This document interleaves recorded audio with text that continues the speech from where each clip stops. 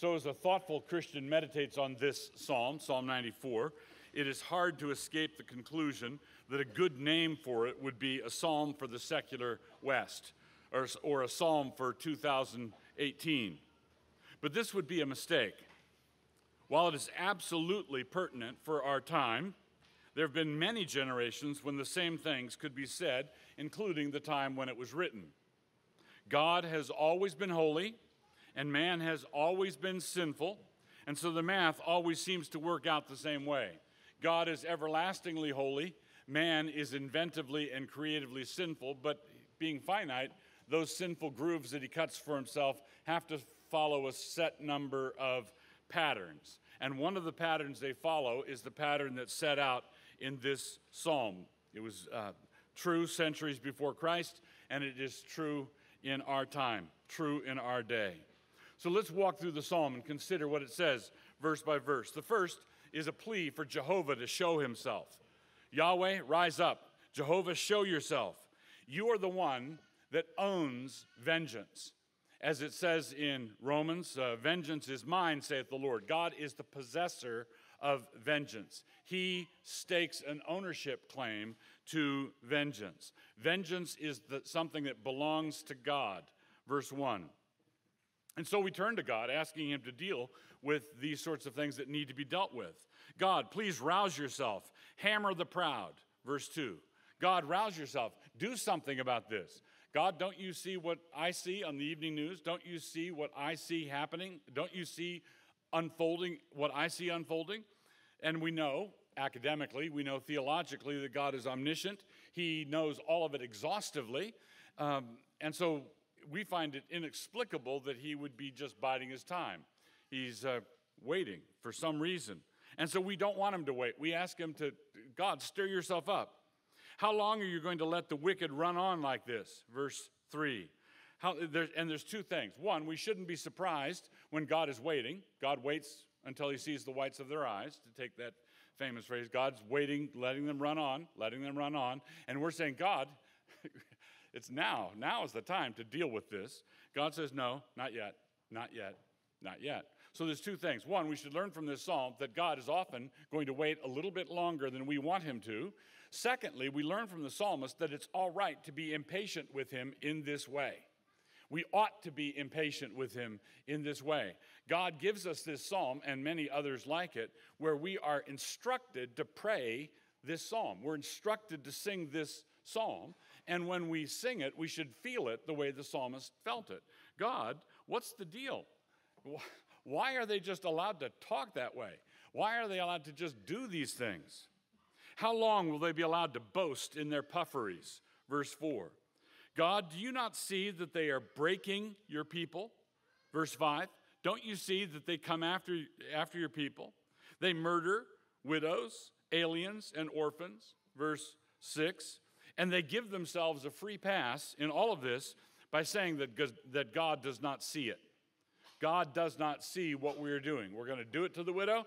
God does not see. We're going to do it to the stranger in the land. God does not see. We're going to do it to the orphan. We are going to dismember children in the womb by the tens of millions, and we're going to do it with the impudent belief, in the impudent belief that God in heaven does not see. So then, understand, you swinish men, as it verse 8 you brutish men, you besotted men, you swinish men. Learn wisdom, you fools. Verse 8. Do you really think, do you honestly think that the one who made the ear cannot hear? That the one who fashioned the exquisite mechanism of the eye is himself blind? Verse 9. The one who chastises pagan nations, shall he not correct you? You're part of the covenant people of God. Why would he not correct you when he corrects pagan nations. Verse 10 He that teaches knowledge to men, and then uh, words that at that point fail the psalmist. If you, if you have a King James in, in verse 10, it says, He that teacheth man knowledge, shall not he know, is in italics. What that means is it's not in the original. All right, so basically, uh, the psalmist gets to that point and says, he, um, in verse 10, He that teacheth man knowledge, dot, dot, dot. Oh, never mind right? Oh, never mind. The words fail me. I don't, Can't you see that the one who made the eye is not blind? The one who made the ear is not deaf. The one who teaches pagan nations, he's, he's certainly able to teach you. The one who gives all knowledge, the, all knowledge, the one who's the source of all knowledge. Do you honestly think that you know more than he does? Oh, you know, stop it. Just stop. So, words fail the psalmist in verse 10. God knows the thoughts of a man, verse 11. They are three parts mist and two parts smoke. That's, the, that's how substantial the thought of man is over against the thought of God.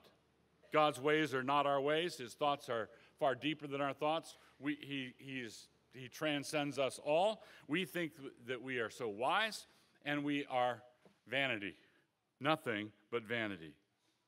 In the first verses of the psalm, in the first um, oh seven uh, first seven verses. In the first seven verses, we see how the wicked conduct themselves. This is how the, the wicked set up shop. Then there's an apostrophe where the psalmist turns at, to, to them and speaks to them, amazed at how thick they are. And then there's a turn at verse 12. Blessed is the man whom thou chasteneth, O Lord, and teacheth him out of thy law. So the wicked run on, verses 1 through 7, he speaks to them are you, are you really that clueless? And then the hope begins the hope begins to be articulated in verse 12 god intervenes on behalf of his blessed ones and we see that his saints are privileged to join in the battle. So when it begins with us asking god to god rise up. Why don't you engage with your enemies? Why don't you um, do something about these enemies of yours. Why don't you rise up and deal with them? Vengeance belongs to you. And then, verse 16, who will rise up for me against the evildoers? Right? Unless the Lord had been my help, verse 17. All of a sudden, the psalmist is in the fight. The psalmist has now been privileged to do something, to be used by God in this battle. So, if God teaches and chastises a man, that man is blessed that man is blessed. If, if God interferes with you, God is being merciful to you. In Romans 1, what is, how is the wrath of God described? The wrath of God in Romans 1 is described, therefore, the wrath of God is visited from heaven on all the unrighteousness of men. So, how is it described? Therefore, God gave them up. The wrath of God is God letting go of the reins. The wrath of God is God taking his foot off the brake pedal. That's the wrath of God.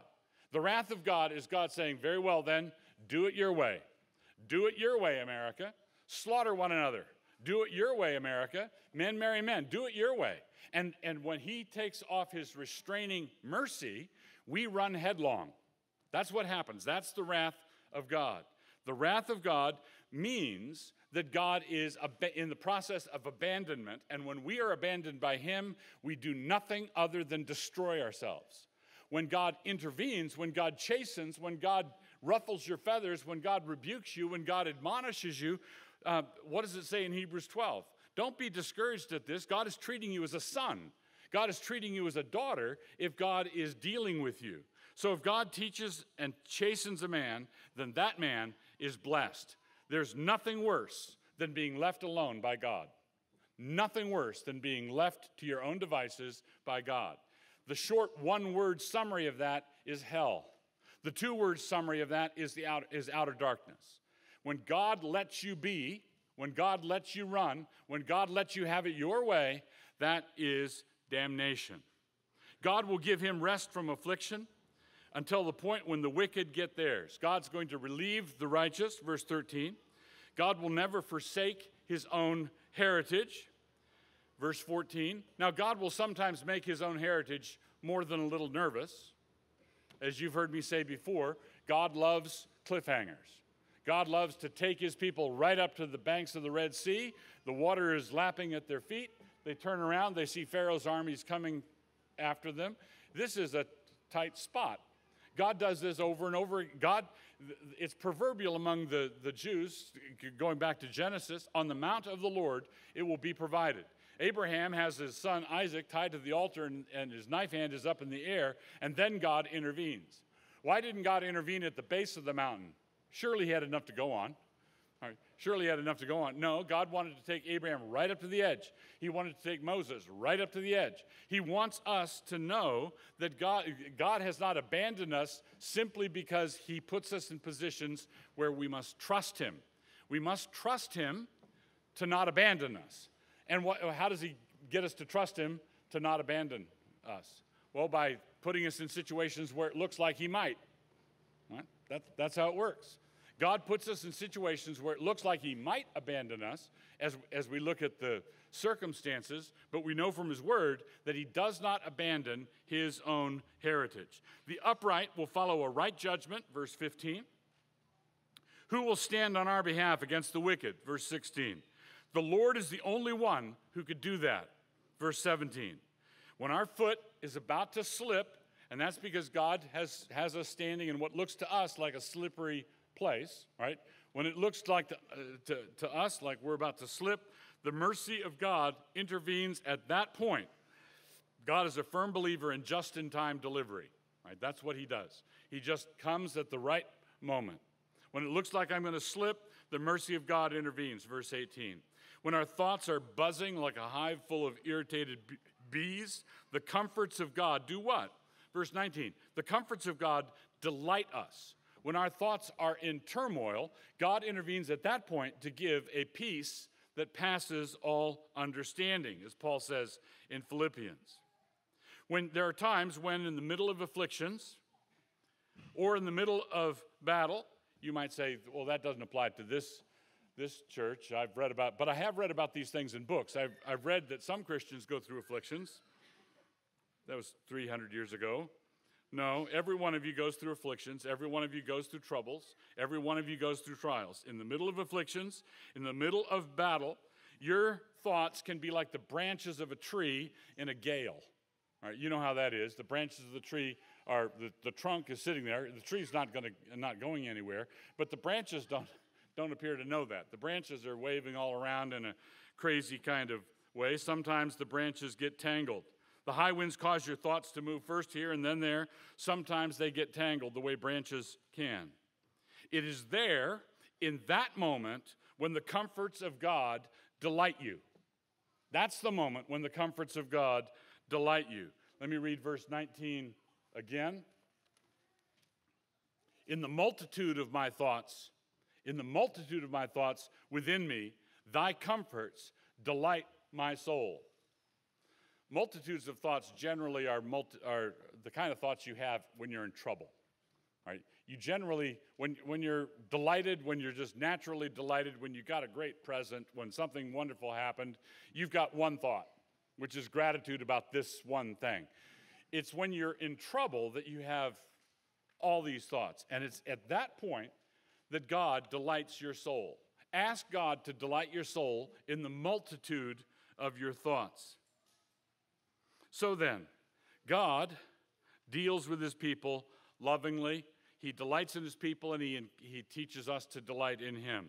Now, the psalmist then turns to the next point Shall the throne of iniquity, that which uses laws as instruments of mischief, but enough about the United States Congress, have fellowship, can that throne have fellowship with God? Can that throne have fellowship with God? The implied answer is no. Verse 20. And what is the consequence of God refusing fellowship to a throne? When God does not fellowship with the established authority, what is happening to that authority? It's in the process of eroding, it's in the process of coming to pieces. If God does not establish a throne, that throne cannot remain. That throne must fall. But in the meantime, they, they don't think that way. They're arrogant, they're conceited, they're proud, they're stuck up. And so what do they do? They gather, they assemble, they conspire, and they do so against innocent blood. Verse 21. They conspire against innocent blood. And why do they conspire against innocent blood? There is no heaven above us, no hell below us. You just imagine, it's easy if you try. Above Buchenwald, no heaven, no justice, no God above every Planned Parenthood clinic in the country, there is no justice. There is no God who sees. That's what they say. There is no God who sees. So we can just continue to do this with impunity. Nevertheless, God remains our defense and our rock of refuge. Verse 22 there's a final holy warning given, no less ominous for its holiness, I think all the more ominous for its holiness. God will, God will bend their iniquity back onto them. Verse 23 He will cut them off in their wickedness. He will absolutely cut them off. So, this is a psalm of judgment, it is a psalm of imprecation. An imprecatory psalm is a psalm where the psalmist is asking God to intervene and to deal with the wicked, asking God to come down and smite them, smite the wicked. So, how are we as Christians? We're, we're told, aren't we, to love our enemies? We're told that we're supposed to pray for those who persecute us. We're told that we're supposed to turn the other cheek. If you're struck on one cheek, turn the other. How are we to reconcile this old covenant business, you know, calling down fire and wrath and judgment in the Psalms, with the New, with the New Testament teaching to love your enemies? And then couple it with the fact that New Testament Christians are told to sing Psalm 94. All right, so address one another, and it says in Ephesians, with psalms, hymns, and spiritual songs. Same thing is said to the Colossians address one another, teaching and admonishing one another with psalms, hymns, and spiritual songs. I'm supposed to be preaching through the Psalms. I'm supposed to preach through the scriptures. All scripture is God breathed, Paul says. Speaking of the Old Testament, all scripture is God breathed and is profitable.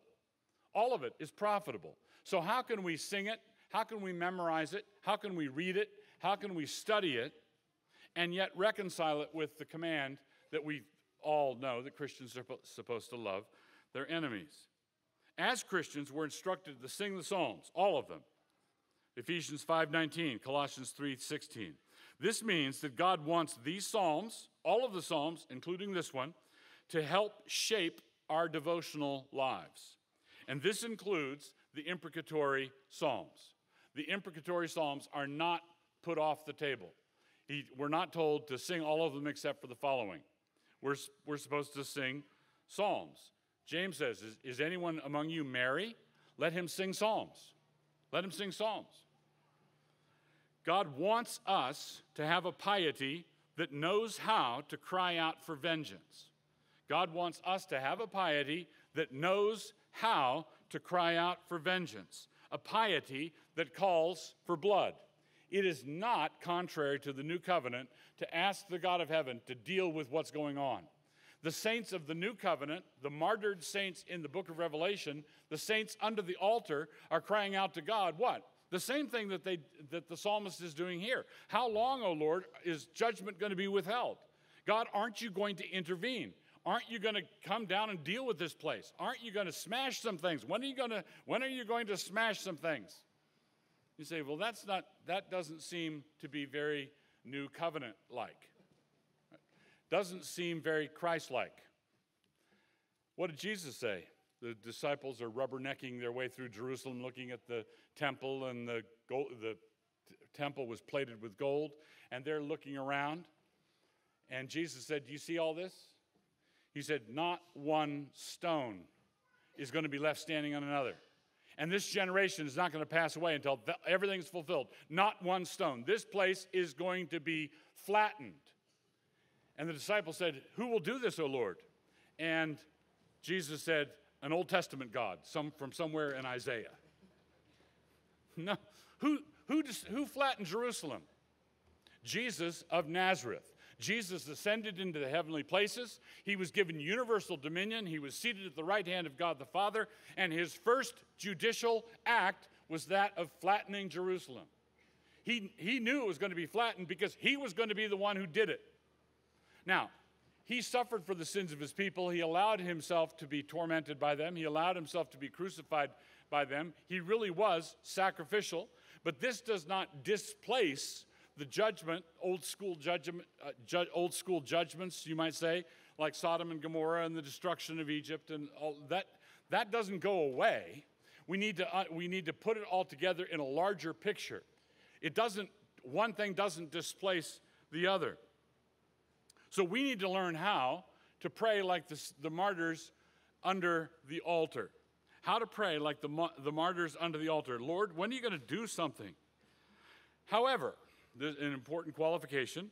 If you find yourself singing psalms of imprecation because someone cut you off in traffic, then I would suggest that perhaps you're doing it wrong. If you utter curses from the Psalter because you open the fridge and find that someone finished off the ice cream, then perhaps a basic refresher is in order. Remember that Jesus rebuked some of his disciples who wanted to call down fire from heaven in Luke 9 55. They wanted to call fire down from heaven. Why? Well, because they were traveling to Jerusalem, which meant they were Jews. They were going there for uh, religious purposes, and the Samaritans didn't like the Jews. Jews didn't like the Samaritans. The Samaritans saw where they were going, and so the Samaritans said that the Motel 6 had no vacancies when it did have vacancies. That was why the disciples were upset.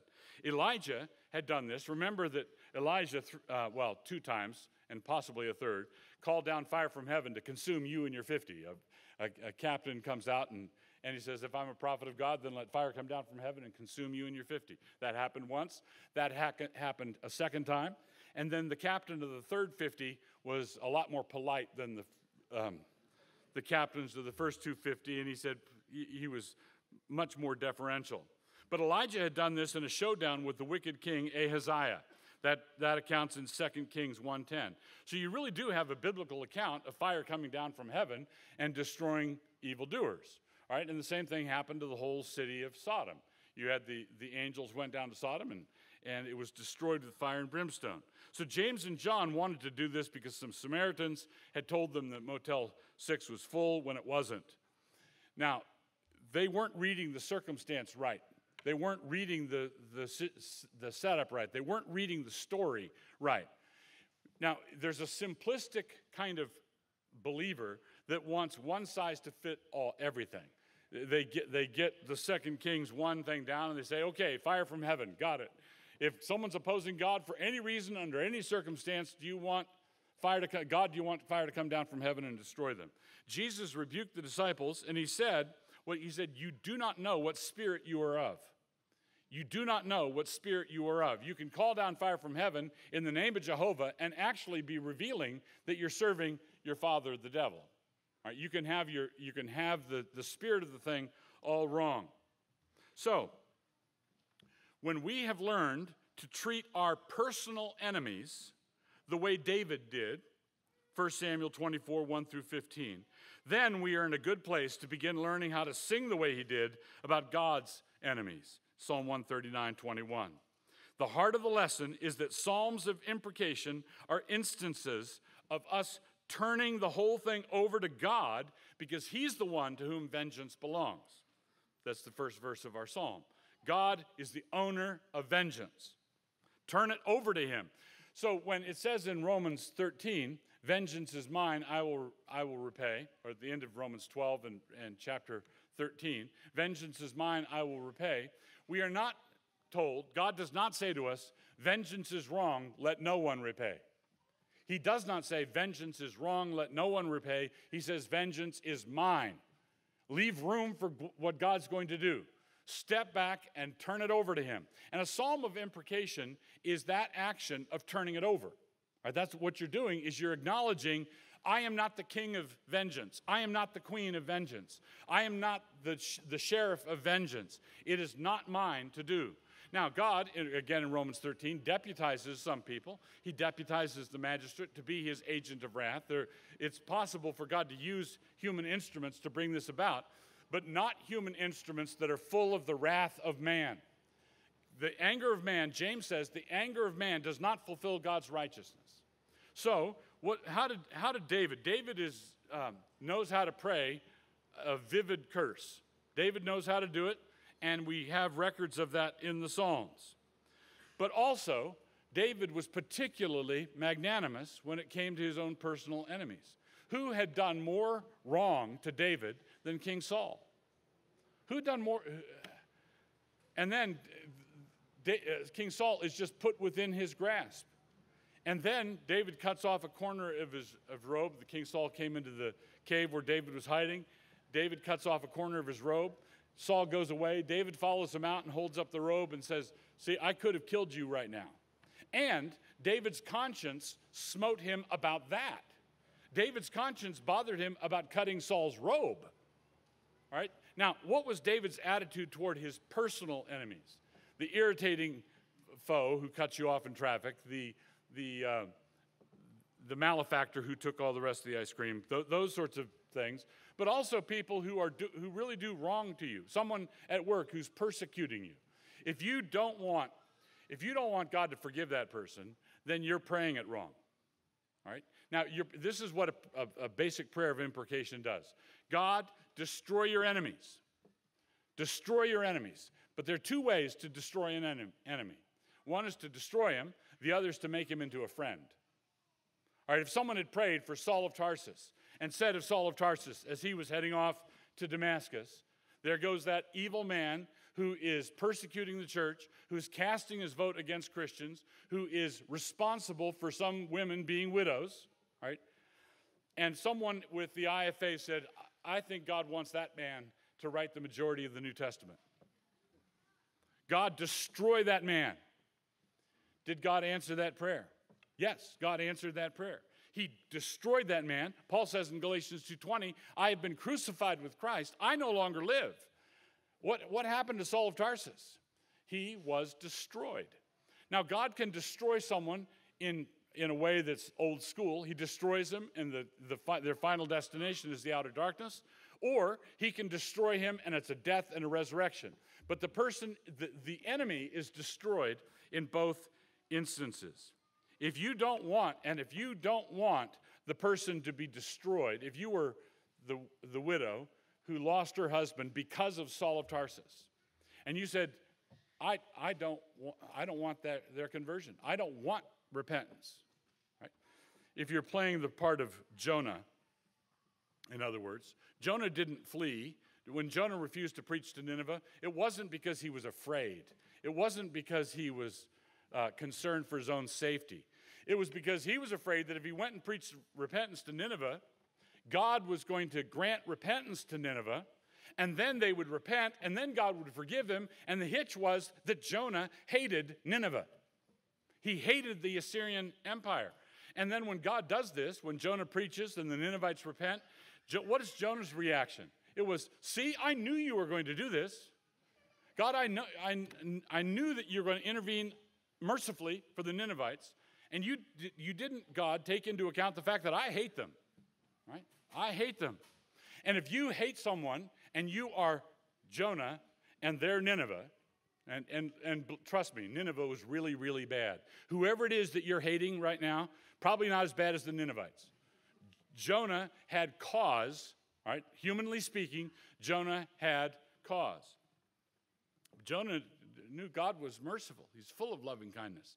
If you don't want God to destroy a, a particular personal enemy of yours, by trans, uh, transferring them into the kingdom of light, forgiving all their sins, putting them on their feet again. If you don't want that, then you're not praying imprecatory prayers the right way.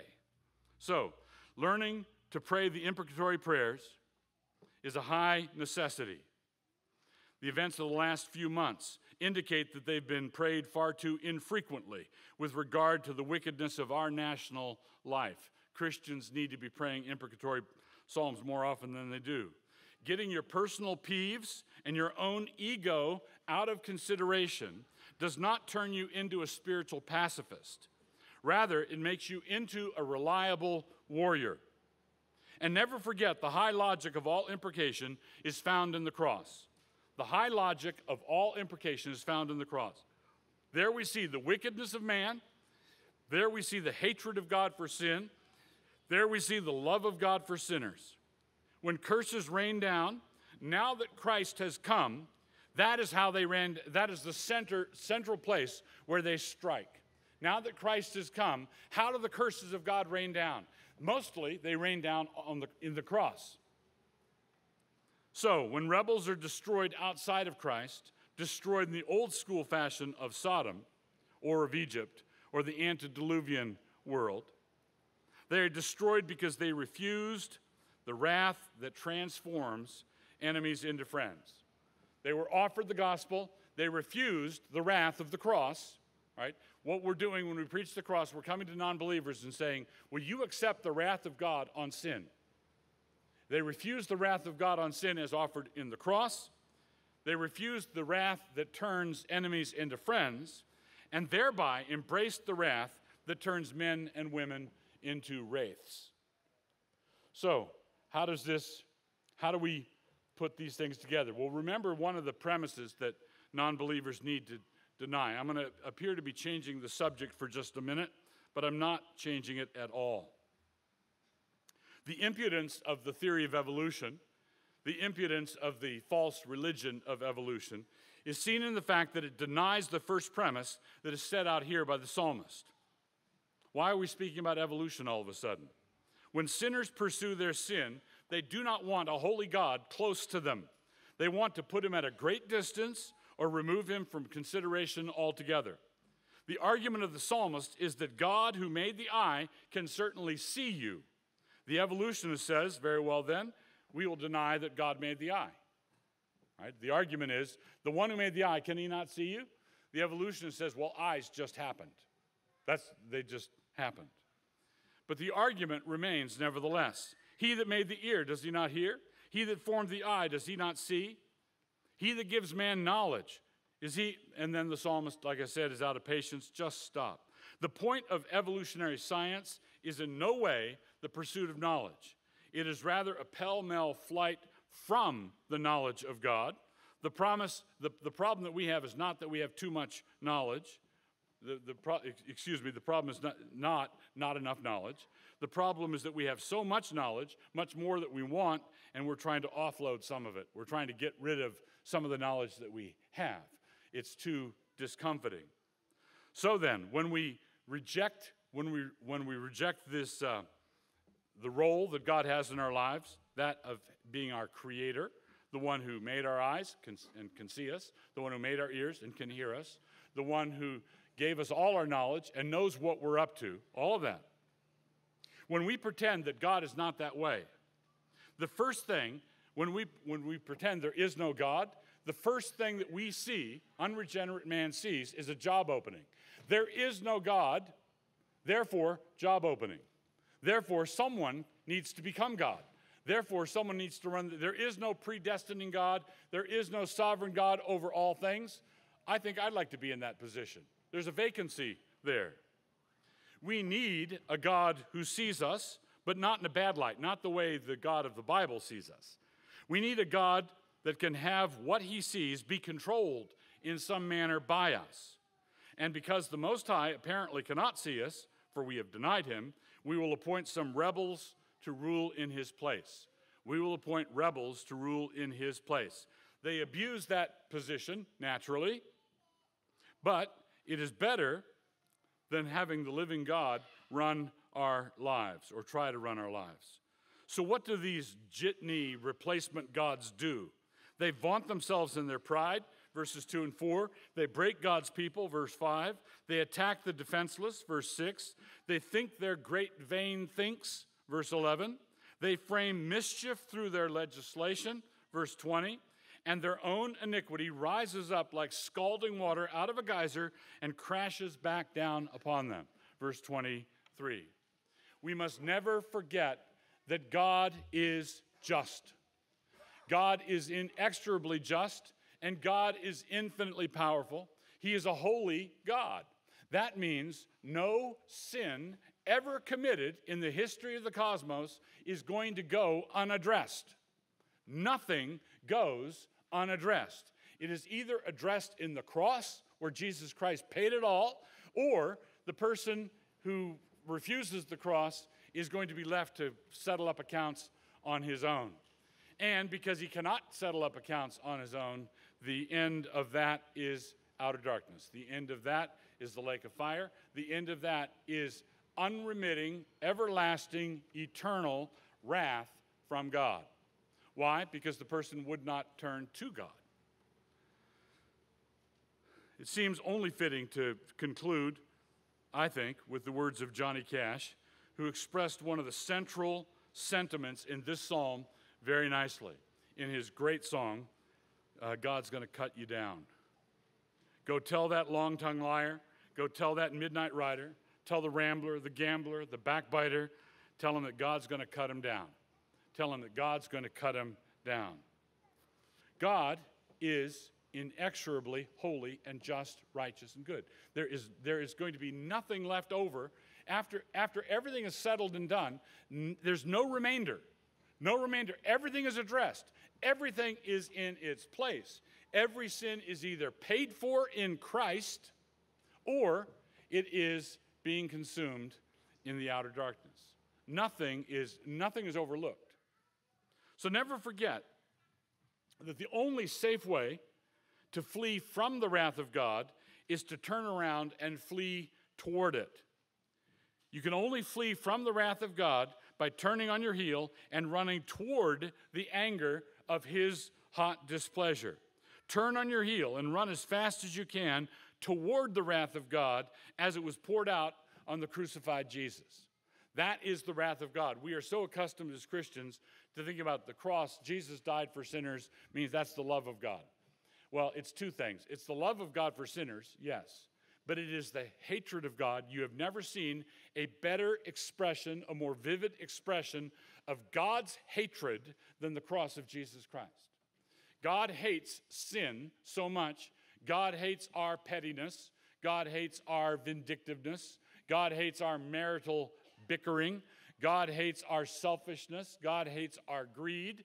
God hates our lusts. God hates all of those things so much that when those things that you and I have committed, when those things were placed on His beloved Son, God destroyed His Son because He hates those things so much. My God, my God, why have you forsaken me?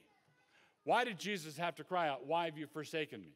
Because God took your sin, God made him who knew no sin, 2 Corinthians 5, God made him who knew no sin to be sin on our behalf. So the sinless one becomes the sinful one, full of sin. Not his own. He never sinned. It was, he was still praying to God, My God, my God. He was, he was uh, uh, quoting scripture, Psalm 22. He was not sinning at all. He was trusting in God. He was crying out to the God who had, he, he felt had abandoned him, but Christ remained faithful. Christ remained faithful. He never sinned. He never was a sinner.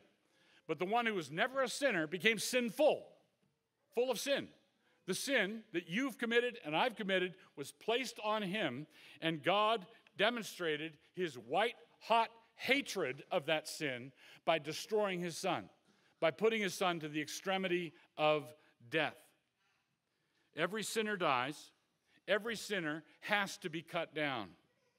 Either it will happen in Christ with the prospect of resurrection and everlasting life before you, or it will happen to you while you are standing before God, naked and ashamed, with the skies and seas and lands having all fled from you in humiliated embarrassment nothing to present to God but your own vile sins, and no Christ to bear them.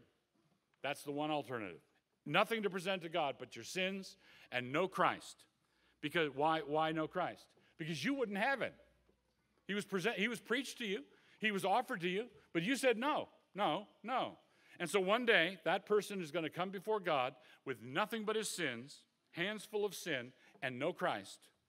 Or for the redeemed, they have nothing but their sins to contribute, but through the gospel, they are privileged to say the name of Christ, who then presents them faultless to, to his Father.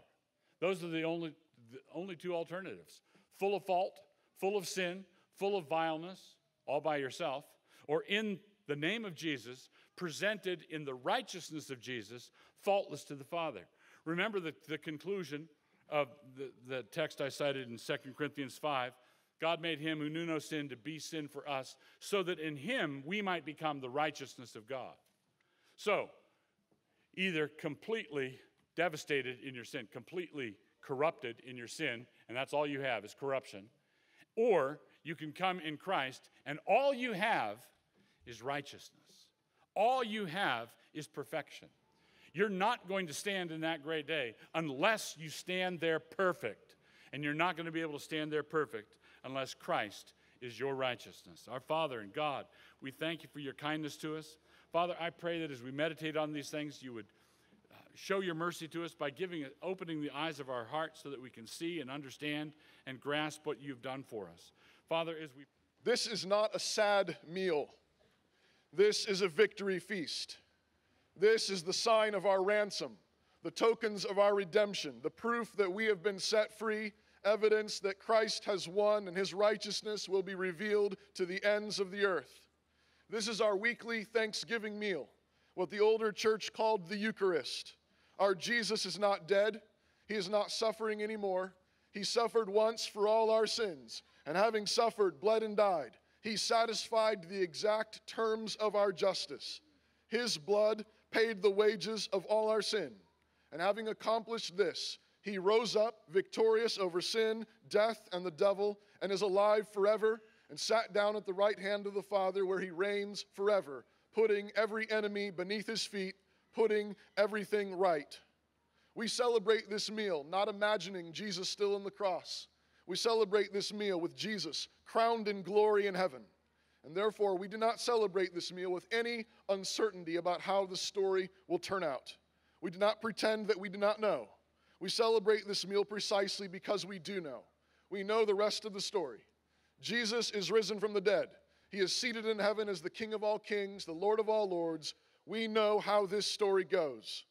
So, in the face of all cultural and political turmoil, in the face of millions of babies slaughtered, in the face of justice miscarried, in the face of defiant sexual deviance, in the face of hardship, uncertainty, sickness, loneliness, and even in the face of death itself, we give our thanks here and we share this bread and wine, proclaiming the death of our King, by which he purchased our salvation and inherited the ends of the earth for his possession. These are the tokens of his victory, the signs and seals of our redemption, and the absolute certainty of his justice filling this world. We do not yet see all things put beneath his feet, but we do see Jesus, and in him we see all things put right. This is our victory, even our faith. So come and welcome to Jesus Christ. In the night in which Jesus was betrayed, he took bread and gave thanks. So let's pray. Our God and Father, we praise you and we thank you for these gifts of bread and wine that you've given to us to proclaim to us and to our children forever that Jesus is won. We give you thanks now in his name, and amen. If you know Jesus, if you know Jesus, then you know what Jesus does with his enemies. Because once you were an enemy of Jesus, and you know that he can be trusted. It makes no sense. We were enemies, and he came and he destroyed us. He destroyed us in Jesus, and he raised us up to good life, to the new life, to eternal life. So he can be trusted. And it's only in that place, recognizing that Jesus always gets his enemies, he always destroys his enemies, he always does justice. It's only in that place, in the peace of that place, that you are useful in this fight. So receive God's blessing now and go with his peace. The Lord bless you and keep you.